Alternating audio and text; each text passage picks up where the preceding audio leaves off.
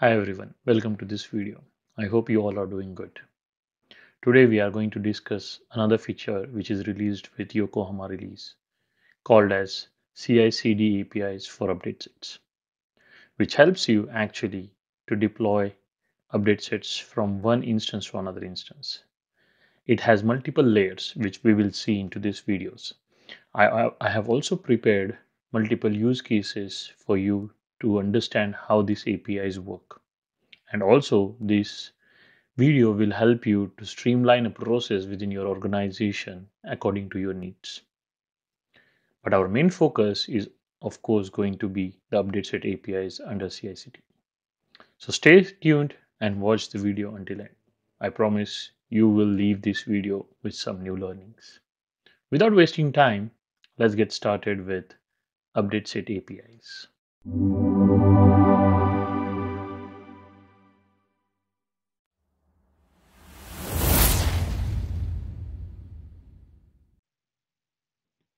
understand the setup. What do we really need basically to integrate two instances? My use case is simple. I'm going to show you how to pull an update set from a source instance into a destination instance. As you can see on the screen, this instance is called as a destination instance starting with 272 and then I have another instance which is called a source instance starting with 289 right to pull the update set from one instance to another instance, we need one user account which has rights, basically admin rights. Uh, I'm using admin rights to pull the update set from source instance into destination instance. I'm going to use this particular account with my name Ashutosh Munot and here you can see I have given this user admin access. On the destination instance, on the other hand, you need to set up an update source first so that that update source is pointing to your source instance which has again you can see the username is the same it will pull the update sets from source instance into destination instance I might also use terms like orchestrating instance and non-orchestrating instance where orchestrating instance is uh, the instance which is pulling the update set right now let's proceed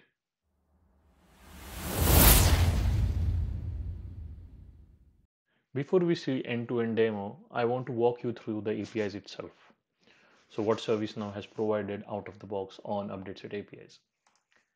I have created a simple flow which gets triggered from a catalog item, but I will show you it in a bit. Before that, this is a subflow retrieve update set with update set source ID out of the box subflow, which I am using to retrieve an update set from source instance into destination instance.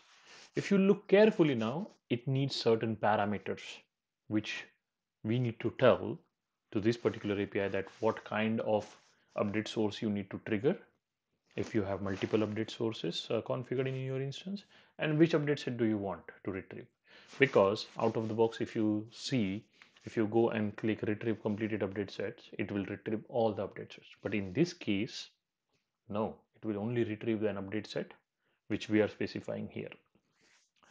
So if you look at the inputs for this subflow closely, you will see that we are providing an instance URL, we are providing credentials, which I already showed you in the setup uh, chapter, and we are providing update set source ID along with the update set ID, sys ID, which we need to uh, retrieve.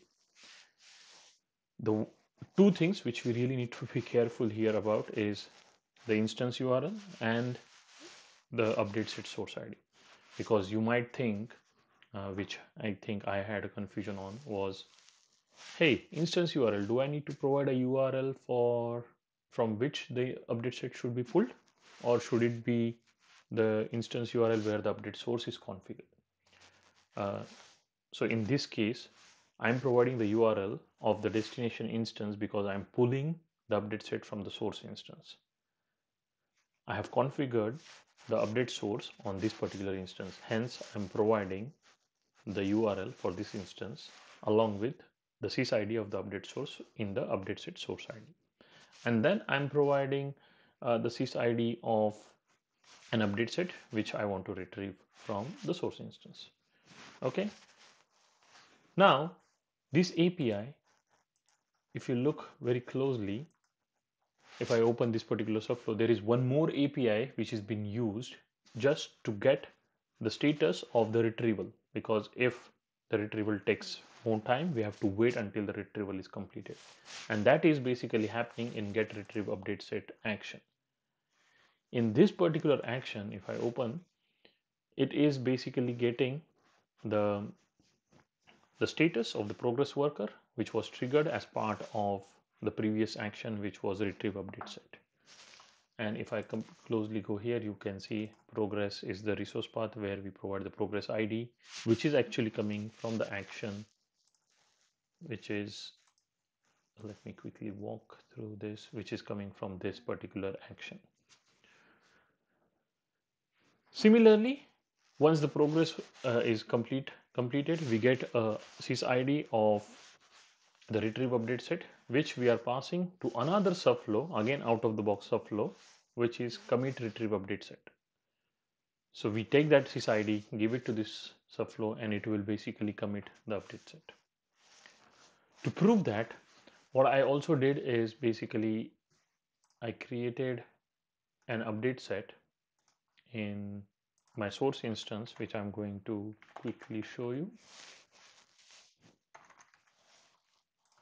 called as uh, demo2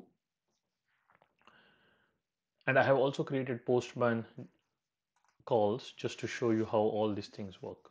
So basically you will see first I will retrieve the update set then check the progress and then commit the update set the advantage of this is you can have this whole pipeline set up into your different environment not even ServiceNow but somewhere CI CD in Azure DevOps Git and you can still trigger this and follow the whole process.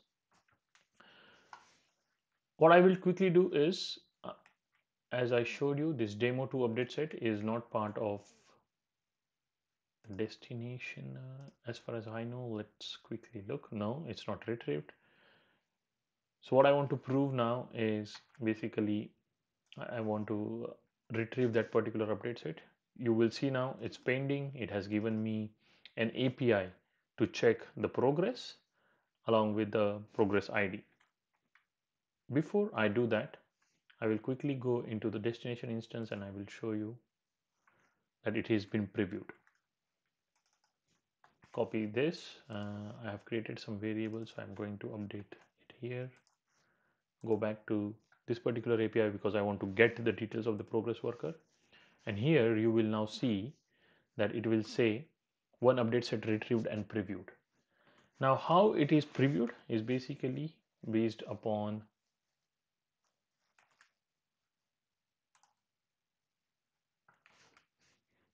there is one uh, I will show it to you when we once we go jump into uh, the ServiceNow instance.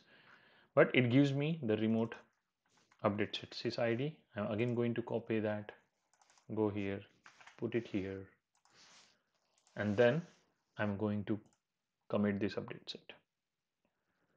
Now, this is an interesting part where it says that, hey, you know what, you can't commit the update set because there are some problems.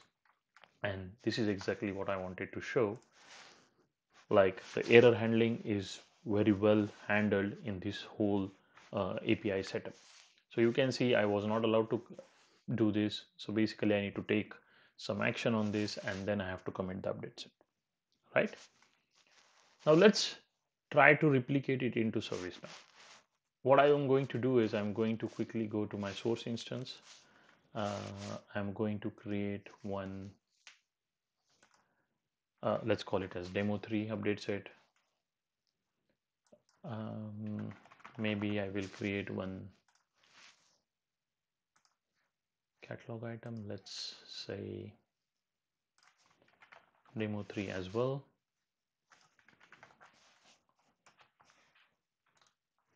submit let's go back to the update set just to see if so you can see now the catalog item is part of this right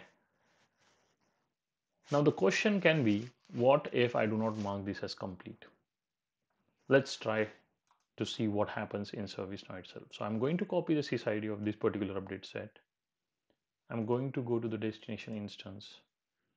I have created a catalog item which actually triggers the flow which I just showed you. I'm going to put the sysid here and click order now. And what this will do is this will trigger this particular flow. I'm going to go to the executions. You see now it's saying waiting.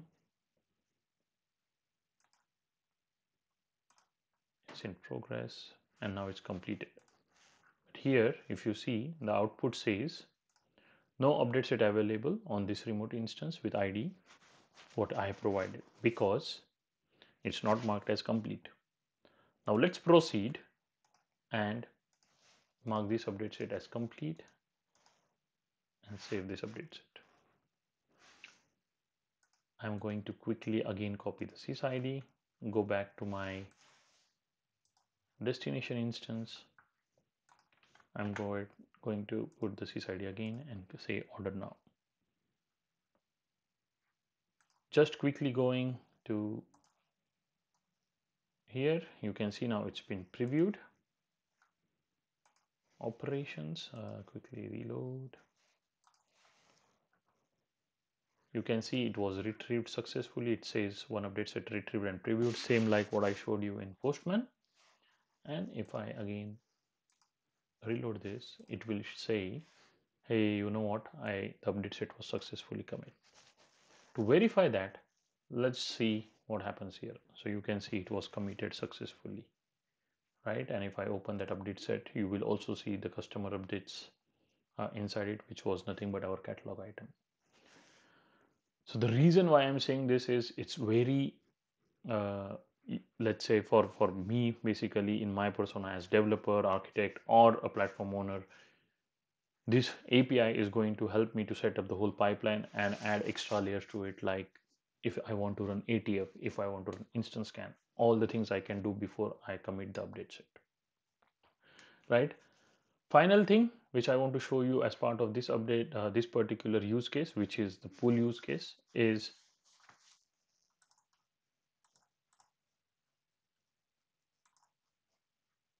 basically these two checkboxes, auto preview and cleanup.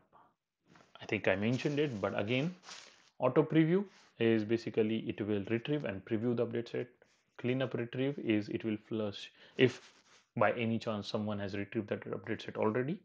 And if it is in preview state it will clear that update set and it will re-retrieve it from the source instance. Okay? In part 2 what I'm going to do is I'm going to show you how you can push update sets from dev instance to your production or from dev to test instance. So other way around from your source instance to your destination instance. Okay? So stay tuned. And if you have any feedback please provide it into the comments. And if you have any new use case which you want to see as part of these APIs please let me know and I will be able to I will try to replicate it and I will be uh, recording a video for it. For now thank you so much. Thanks for watching everyone. I hope you enjoyed the video. If you did, don't forget to give it a thumbs up, leave a comment below, and subscribe to the channel for more awesome content. Hit that notification bell so you never miss an update. I appreciate all your support, and I'll see you in the next video.